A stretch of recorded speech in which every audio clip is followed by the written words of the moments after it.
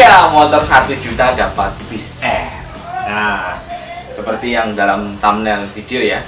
Uh, kembali lagi ke project DKWK pada kesempatan kali ini saya akan membuat project otomotif lagi setelah uh, project otomotif pickup saya yang dulu ya mungkin masih ada di video ini di atas ini bisa saya lampirkan atau di deskripsi nanti nah saya sebenarnya sudah lama sekali ya pengen mempu pengen punya motor Fish Air ini tapi karena sekarang harganya memang sangat tinggi sekali dan saya punya apa ya semacam uh, kalau saya dapat satu juta saya beli gitu kan. Nah alhamdulillah saya dapat tapi kondisinya seperti ini.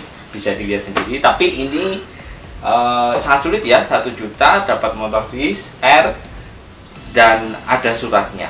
Nah ini alhamdulillah ada suratnya jadi bukan motor bodong jadi aman. Nanti kita urus sampai motor ini hidup tapi ya kondisinya seperti ini hanya mesin hanya keraka BPKB selesai gitu kan. nah ikuti terus project uh, otomotif dari Craft ini sampai akhir. Sementara ini kita bongkar terlebih dahulu. Cedot.